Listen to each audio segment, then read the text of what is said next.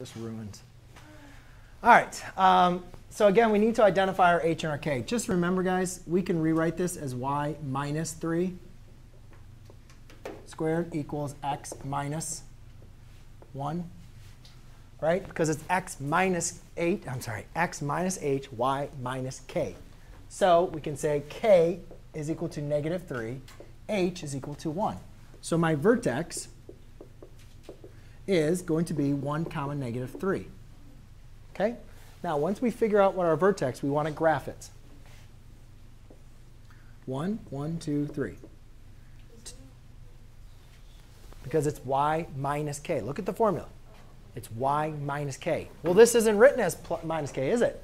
But you can rewrite a plus as y minus k. y minus k. What is k equal to? Negative. y minus k. k is equal to negative 3. Minus a negative is the same thing as plus, right? x minus h, x minus h, x minus h. What is h? confused on that. Huh? I, I that. Oh, I just switched it. yeah, yeah, yeah. I thought you were like elaborating again or asking another question. Yeah, so you have h and k, right? It's always h, always have your h and k for your vertex. Then we need to figure out our p, which again, a lot of people they're like, oh, I don't see it. Well, again, yeah, you guys, you can always think of it being multiplied by 1. So we have 4p is equal to 1. Divide by 4. p is equal to 1 fourth. Now, what, what variable is being squared? y. So is my parabola should be opening up or down or left or right? Left or right.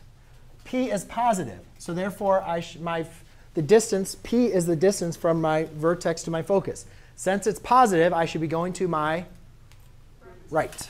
So here's 1 and here's 2, if I'm, just, if I'm at 1 and I'm just going one fourth to the right, how far did I really go? I just went 1 and one fourth, right? Yes? 1 and one fourth. That's how far you traveled. Or you could rewrite that as, um, you could rewrite four, 1 as 4 fourths, and then plus 1 fourth is 5 fourths. So your focus is going to be uh, 1 comma, no, I'm sorry, 5 fourths, comma, negative 3. And then my directrix is, my directrix is going to be p the opposite way.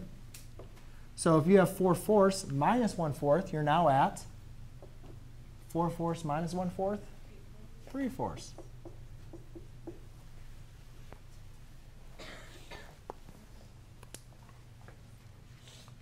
And there you go.